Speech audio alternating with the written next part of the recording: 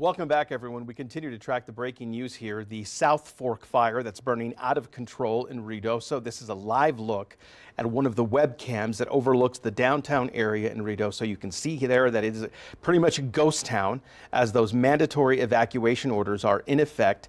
Uh, we haven't seen any real traffic except for emergency vehicles. And, and a little while ago, we saw a water truck making its way down there. And you can see there that looks to be uh, perhaps uh, some kind of emergency vehicle there making its way down the street. But again, that mandatory evacuation order went into effect because the South Fork fire is burning out of control. In fact, you can see that eerie orange glow in the background there uh, in Ruidoso tonight. So we are keeping our fingers crossed as we check in now with reporter Ariana Parra, who is joining us now live from a safe distance with what we know so far about that fire and where people are headed. Ariana.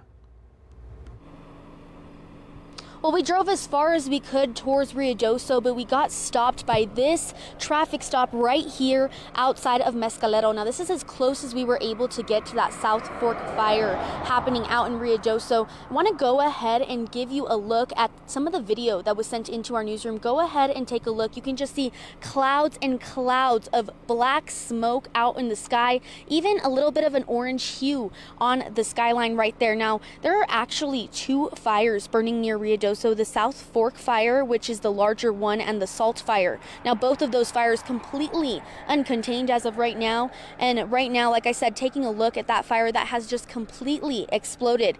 It's just been eight hours since that fire, and this fire went from 15 acres to nearly 5,000 acres in just eight hours. Now, homes completely surrounded with those clouds of dark smoke. It's also causing some power outages. First responders in Rio Ruidoso asking the utility company out there to de energize parts of the village. Now, right now, eight different outages and just over 2,000 customers affected. I can tell you, standing out here right now near Mescalero, lots of smell of that smoke right now, too. Now, this also caused the entire village of Ruidoso to evacuate immediately. Now, the road to evacuate towards Alamogordo, which is right here where we're near, is closed, so everyone is asked to head towards Roswell, where there are many different evacuation centers at different churches and also at the Eastern New Mexico University campus. Now, we've been trying to get in touch with some of the people who live out in that area who we know. One woman living on the outskirts of Ruidoso tells me that she hasn't been told to evacuate yet. She's on standby mode, but she's already begun packing her bags and is already trying to get a hold of different family members who are evacuating evacuating. Now, another woman tells me she was just barely able to regain cell phone service, and she says that the evacuation came out of nowhere with almost zero notice. She tells me it was absolutely crazy, and she is very nervous for her family members. So now that she does have service, she is just trying to get a hold of any and all family members just to ensure that they are safe and that they are heading to a good spot that they are able to evacuate to. Now, we are, of course, continuing to cover this. If you can see right now, it's really a ghost town just out here in general all you can see are some police officers blocking off this road. This is on Highway 70. And then there's another road just right here where a lot of people are being told to turn around if they're heading down this roadway right now. Now, there's no one coming from the other side. And if they are, they are being trafficked over there to that street. We are, of course, continuing to monitor this fire and this entire breaking news situation overnight, and we'll be sure to bring you continuing coverage on the KFOX 14 morning news tomorrow morning from 5 to 9 and online at kfoxtv.com. For now, I'm reporting live near Mescalero, Ariana Parra, KFOX 14 News at 9. We continue to follow developing news out of Ruidoso, New Mexico this morning, where the South Fork fire continues to burn this morning. And, I, and we do have uh, forecaster Hannah Fresquez up in the Ruidoso area this morning. Hannah, the sun is beginning to come up and things are getting more visible up there. What are you seeing right now and what updates do you have for us?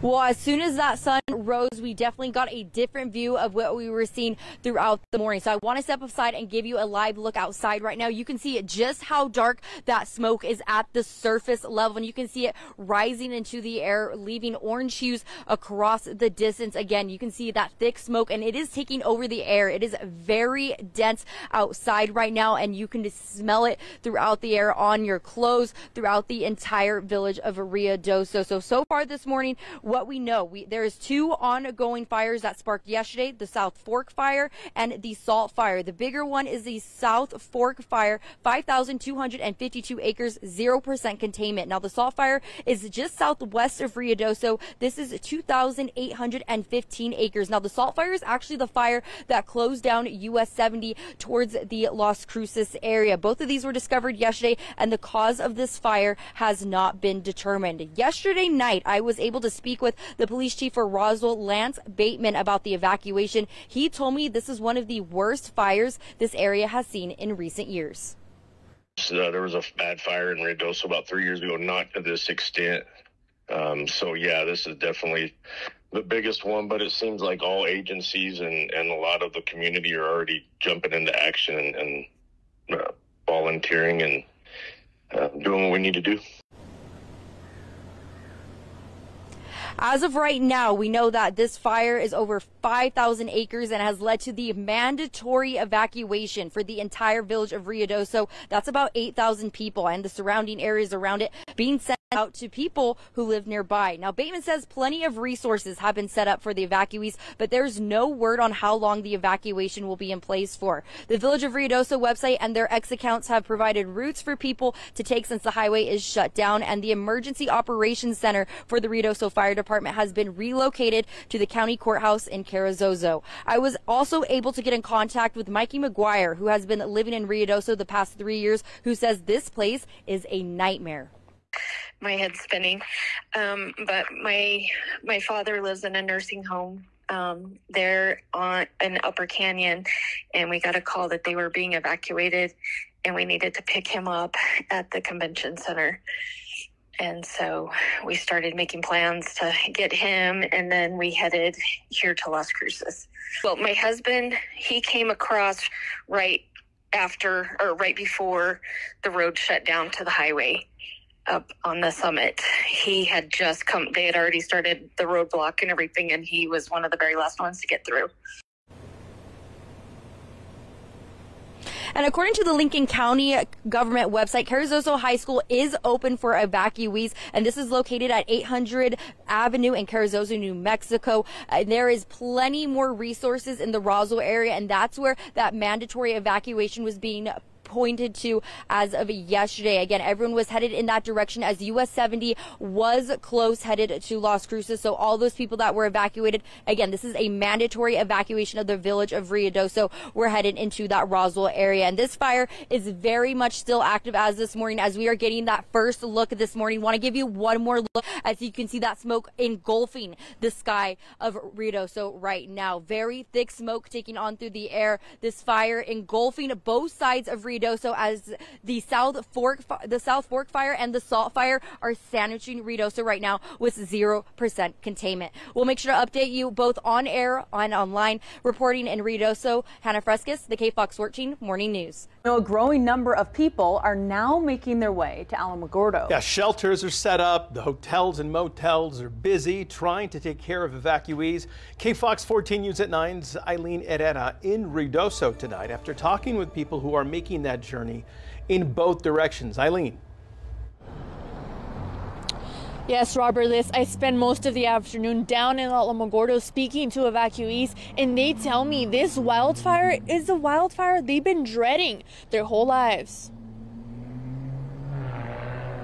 I've never even seen a wildfire this size in this area my entire life. This one I knew was really big and it was really close. Oh, it looks like an apocalypse. I mean, it's just, I mean, it was just dark smoke. And I mean, I've never seen anything like it in my entire life. Residents looking from shelter from the two massive wildfires in the Ruidoso area say the last couple of hours have been exhausting. I had about three hours of sleep. I'm just exhausted, you know. Many describing the moment they realized they had to leave their homes. I was very scared, you know, because I didn't, you know, I didn't know what to do. And and uh, but just had to get up out of bed and the police came and knocked on the door and told us to, we needed to evacuate immediately. In Alamogordo today, I saw residents from Ruidoso making their way to hotels as well as Alamogordo residents collecting donations to help those being impacted. It's um, it's sad. These people have lost a lot. Um, there's always been fires up there, and this is just terrible. Residents are hopeful the fires are contained and the town rebuilds. We're going to take care of our each other and we're going to come back from this. It's going to take however long it's going to take, but Ruidoso is very strong. Some people I spoke with say their homes are safe for now, but they are scared that can change quickly. Our houses were okay earlier today, but I don't know. And um, I didn't have I have I don't have a big home, but it's my home. And the thought of losing it is just very scary. Very scary.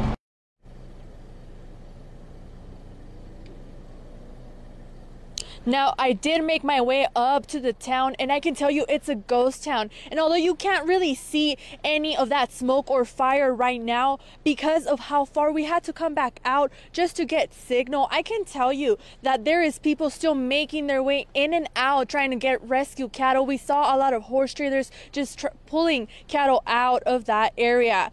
But as you can tell, we are still in a very dangerous zone with the fire danger being at the highest level. I'm reporting live in Ruidoso tonight. Eileen Herrera, KFOX 14, News at 9. You know, tonight, a family is mourning the life of a loved one killed in those fires that just continue to spread right now. So far, we know at least 1,400 buildings have been lost. Our morning news anchor, Selena Madrid, spoke with a family member whose father was inside one of those buildings. They got the horrible news this morning that their father did not make it out alive. Thank you.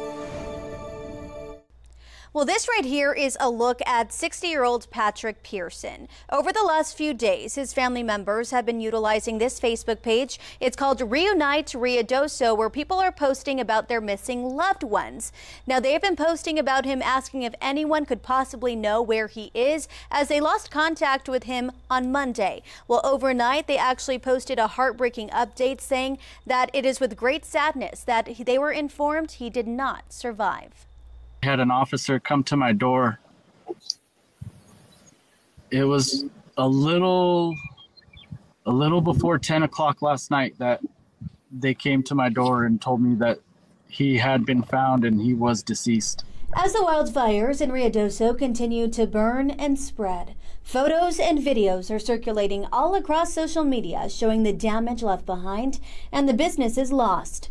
One of the businesses was the Swiss Chalet Inn, a popular hotel in the heart of the village where Patrick Pearson's kids told me he was living for three to four years. He's a musician and he frequently played um, down on Main at a place called Quarters. And so he just kind of stayed at that hotel in the big suite and and knew everybody and he had everything he needed. As long as he was playing music, he was happy. And, and last time there was a fire there, he did update us like, hey, it's not really, it's kind of close, but I'm out here helping. Um, he currently could not really help much because he had broken his leg about a week and a half prior. The last time he was heard from was around 4 p.m. Monday mm-hmm. afternoon, saying that he had a ride coming for him at the time um, unfortunately, that ride was turned away from responders close to the scene, saying that he can't go up there, it's getting too bad. Cell service also being an issue for that communication to be relayed to Pearson, leaving him in a helpless situation. There was no way for him to know that that ride wasn't going to make it. No way is a easy way to go out, but a wildfire is just so traumatic and devastating and i just can't imagine like what he went through. You both just learning about the passing of your father.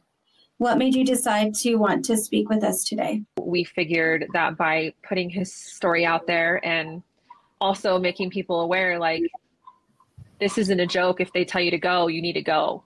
Like don't wait for people get a ride when you can well, New Mexico State Police did confirm Pearson's death to me. It is still unclear whether there is more deaths being reported as the two wildfires combined have spread more than 20,000 acres so far. You can count on us to continue to keep a close eye on this developing situation and the families impacted, both on air and online at kfoxtv.com. Reporting from the studio, I'm Selena Madrid.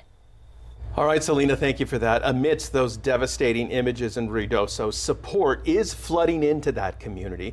Local tribal centers have become a hub for supplies and volunteers from all over southern New Mexico. Yeah, KFOX 14 News at 5's Harrison Parker spoke with the volunteers about why they came out to help and also why it's so important to them to do that. Harrison?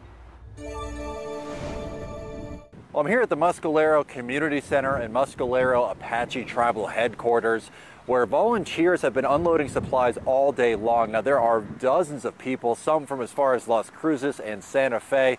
One volunteer I spoke with from Las Cruces said he just couldn't stay away.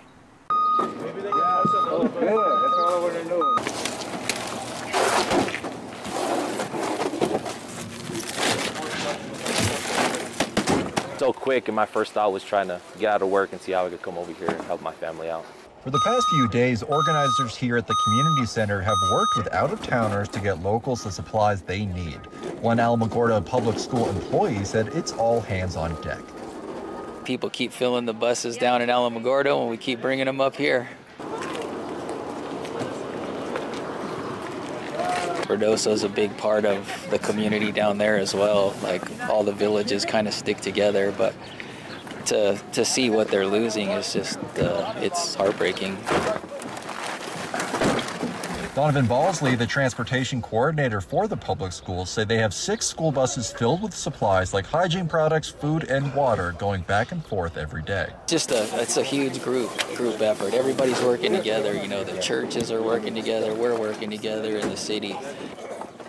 Dwayne Duffy, vice president of the Tribal Executive Committee, says support efforts are finally starting to run smoothly. The last 72 hours have been chaos. Um, really, within the last 12 hours, everything has been setting in place and, you know, getting the emergency operations center going here. Duffy says after the fire, he's concerned about potential flooding coming from incoming rains. And so ensuring that, you know, we don't have anybody in the way of those uh, floodwaters downstream once the, you know, once the rains hits or, you know, anything like that. All right, so that was Harrison uh, Parker reporting for us there. Uh, you know, for many uh, Ruidoso homeowners, meanwhile, they're left now with this, I mean, agonizing wait, basically, to find out if their home is among those destroyed. But today we heard from one man who knows, without question, that his house is gone. Take a look here. These are photos. Uh, that's all that's left of a two-story home that belonged to Will Umphreys. He saw these photos on our newscast yesterday and immediately recognized the charred remains of his house, the only thing left standing there, a chimney stack. This is what his home used to look like as recently as Monday morning, these photos of much better times. You can see there that this was the kind of home you see all over Ruidoso, a place where so many go to escape from the summer heat or to enjoy the winter snow in that town of 7,800. Bill and his family are safe, but like many others, are now trying to figure out what comes next. And I also want to show you this video here. I mean, look at this, just the ashes left behind as a result of the fire. And you can see the smoke and the rubble. This was once a family's home in this video here. I don't know whether we're going to have a home. We were engulfed in smoke that scared me to death. The best you can do is just try to not fall apart, and that's all you can do is just hope. Hundreds of people from Ruidoso are dealing with the fact that their homes have burned, and worse yet, some are still looking for loved ones. We know a second person has been confirmed dead by New Mexico State Police. They say the skeletal remains of a person were found in a burned vehicle on Tuesday. Meantime, the governor of New Mexico, Michelle Lujan Grisham, releasing new numbers announcing that out of the 1,400 structures that have been destroyed, 500 of those structures are people's homes. And to make matters worse, in Ruidoso, some areas were under a flash flood warning last night as water in the Rio Ruidoso came up more than six feet in just 15 minutes. And Evan, while rain you would think is good for fires, it was not the case, right? We're also dealing with some drastic, drastic weather changes here. Um, but actually, before we go to Evan, we do want to send things back over to forecaster Hannah Fresquez, as she has been in Ruidoso since these fires began. Yeah, she's been there over the last few days, and it actually appears, Hannah, you're in an evacuation center this morning. What exactly can you tell us about how that shelter is shaping out? Well, let me tell you, it's a very emotional scene this morning as many people are starting to wake up and grab breakfast and grab donations from the community. You can see right behind me right now donations coming in by the minute right now as they are going to be moving in in just a couple minutes. But what we know so far is thousands of people displaced from the fires today. 8,000 people from the village of Rito. So just in a blink of an eye. And then a couple days ago, the Ruidoso Downs area. So right now we are watching people come in and grab what they can as some of them may not return back to Ruidoso as their homes are completely burned. So what we know so far this morning, while we were headed to Ruidoso, the Ruidoso area, we were trying to get back in where we were yesterday. Completely shut off perimeters, even extended even more as many as the flash flooding was it was very severe, uh, told us by police officials. As you can see behind me, more coming in right now. They are putting more donations out. We're looking at socks, we're looking at clothes, we're looking at shampoos, um, baby food, diapers from all over the area. Now, one of the volunteers with the Red Cross did tell me that a man all the way from Phoenix, Arizona, drove overnight with a trailer full of donations, wondering that they can do to help. So again, these are all from the community, and the people that are displaced are able to take whatever they are need to, greeted with a comfort bag as soon as they walk in with essentials such as toothbrush, toothpaste, and a blanket. So what we know so far, 0% contained as of this morning, and the smoke did not look as bad as it was yesterday. Smell was definitely down from yesterday as well, but what we are now introducing is the weather factor as thunderstorms are going to be continuing through the weekend as well, which again, Jessica did say earlier, it does sound like a good thing in terms of rain, but also we have to keep in mind that we are also looking at lightning strikes. These thunderstorms are going over burn scars of the South Fork fire and also the Blue 2 fire. And many may not know the Blue 2 fire did start in June, but it is still not 100% contained. It is still at 92%. So that is still an ongoing fire and the South Fork fire as well as the Salt fire. So in reality, we still have three fires going on, two very massive, and then that Blue 2 fire at 92%. So we're going to keep you updated here on uh, both on air and online at kfoxtv.com. Stick with us throughout the entire show. Reporting live in Capitan, Hannah Fresquez, the KFOX 14 Morning News. Rainy weather and flooding in the mountains of southern New Mexico. Cooler, wetter weather is helping to stop two wildfires from spreading, but the rain also prompting concerns about flash floods and mudslides in the burn area. It's also affecting how much progress firefighters able, are able to make. Both fires remain 0% contained. Fire, there, there is, of course, the Salt and South Fork fires that have burned more than 24,000 acres. 1,400 structures have been lost, including at least 500 homes. And today, the FBI confirms that they have joined the investigation into the cause of the fires that officials had said earlier this week was human caused. Hello, everyone. Thanks for being with us. I'm Robert Olguin. And I'm Liz Dewicki. So, you know, we've just mentioned the challenges that the weather's causing for fire crews in Ruidoso. So, mostly the flooding, but there is much more to it than that. KFOX 14 News at 5's Ariana Parra spoke with fire teams to find out why that fire is still not contained, even though there's been rain the past few days. Right now, there is 0% of that that we as firefighters believe is completely safe from having fire threaten those areas of the edge. Mike McMillan is a spokesperson for the Southwest Incident Management Team for the South Fork and Salt fires, ripping through over 23,000 acres of land. So it's a big firefighting effort. He says the reasoning behind the zero containment despite rain for the past few days has to do with the lines already drawn out and their confidence in keeping the fire within them. Even though many parts of that edge are already blackened and we have we have containment lines around some of those areas. But that doesn't mean that the fire can't cross those in the wind. While the rainfall is helping to put out some of the fire, with 100% humidity and full rain, it's really going to um, help us uh, in our efforts to contain the fire where we can. A spokesperson for Lincoln County's Office of Emergency Management says Friday's expected rainstorm brings other concerns. So, any kind of mass amount of water that goes through, it grabs dirt, it grabs trees, it grabs power lines, it grabs poles, it grabs rock, and just carries it with it. So, when it hits down at the lower ends, it takes out culverts, it takes out homes, it takes out anything in its way.